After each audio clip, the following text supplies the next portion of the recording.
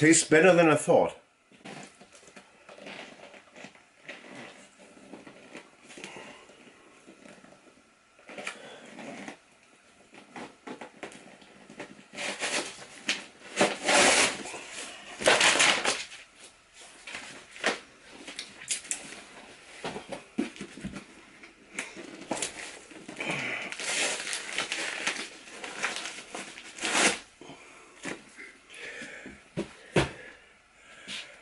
Don't expect me to do the double telephone book tear with my teeth. You need a bigger mouth for that, so I advise it more for woman.